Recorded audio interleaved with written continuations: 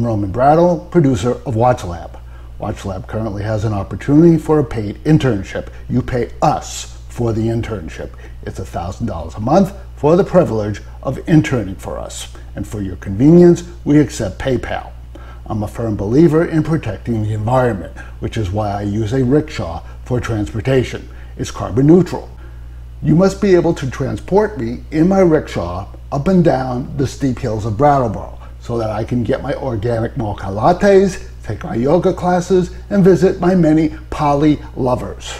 What I don't want to hear is, oh, I'm having heart palpitations. I don't think I could push you up this hill without a water break. I don't want to hear that crap. Do you want to hear that crap? This is what I want to hear from you. How fast should I push you up this hill, sir?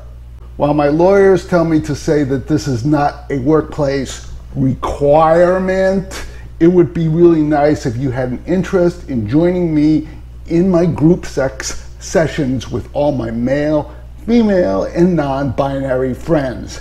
And then afterwards, we like to do a group Buddhist meditation so we could get in touch with our Buddha nature. It would be really nice to have Bernie Sanders supporters, as I am hoping that his progressive agenda will get these dirty fucking homeless people off the streets. Thank you and good luck.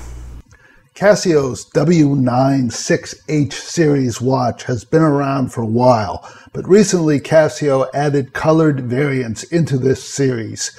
I'm the first person on YouTube to show you one of these color variants, the W96H-4AV, which I dub the Harvard.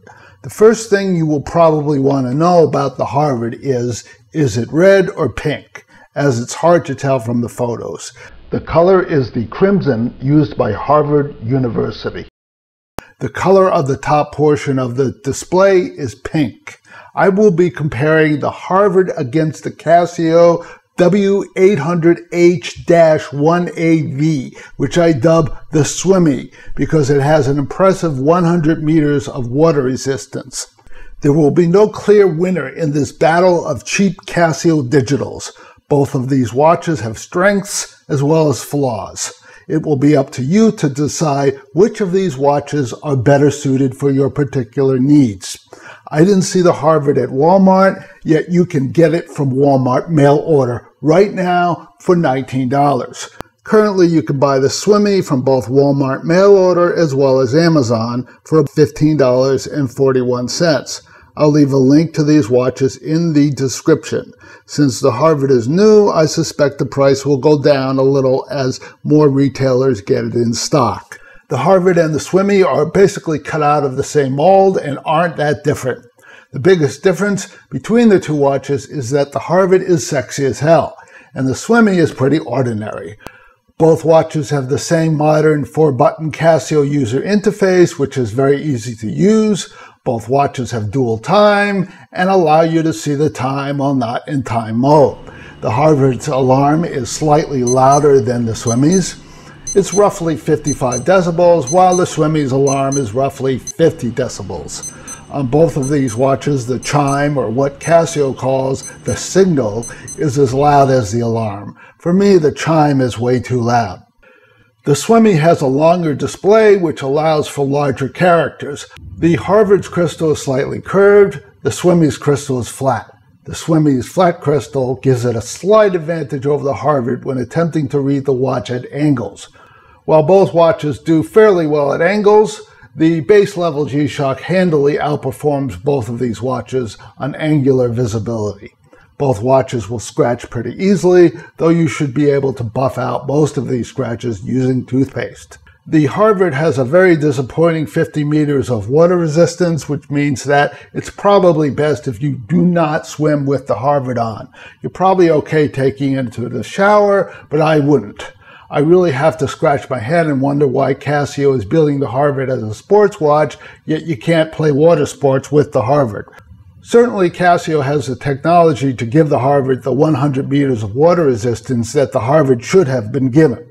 Is the Swimmy the good son and the Harvard the bad son? What gives? These Swimmy's buttons are not loose, but they do take too little force to activate, and for me, get accidentally pressed too often when doing physical activities. The Harvard, on the other hand, has nice firm buttons that take a reasonable amount of effort to activate. This helps to prevent accidental activation. Both watches have cheap plastic straps. The Harvard has a nice, for lack of a better word, lip here to keep the keeper in place. This is a really nice feature. The Swimmy does not come with two keepers. I took a keeper from a different Casio and placed it on the Swimmy to keep the keepers in place while I wore it. The one keeper that the Swimmy comes with is not sufficient. As you can see, not only does Casio sign the buckle of the Swimmy, but they sign the keeper. This is a really nice touch. Very disappointing to me that Casio didn't include any product branding at all on the Harvard's clasp or keeper. I was unable to wear the Harvard in order to do a proper test of its feel. The reason being that the watch band didn't fit. It was either too loose or too tight. That has never happened to me before. The Swimmy fits me fine and is reasonably comfortable.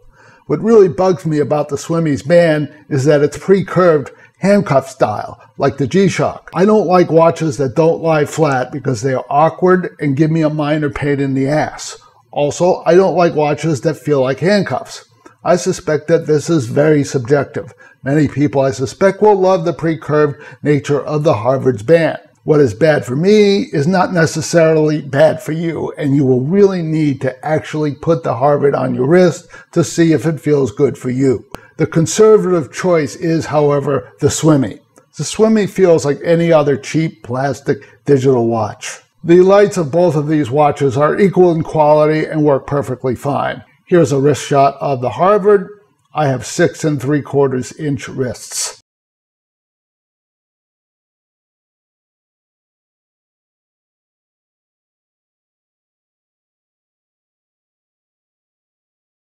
And here is a wrist shot of the Swimmy. I suspect that both of these watches are very durable, and I think both watches are good values, especially considering how much battery life they offer.